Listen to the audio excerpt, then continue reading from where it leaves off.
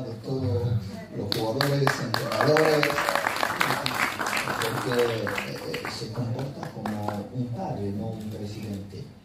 Eh, eso es lo primero. Y, por eso no lo puedo comparar con un presidente, porque no lo es. Es encima de un presidente. Tiene sitio eh, de, de papá, ¿no? Y me dio la oportunidad de jugar en uno de los mejores equipos del mundo.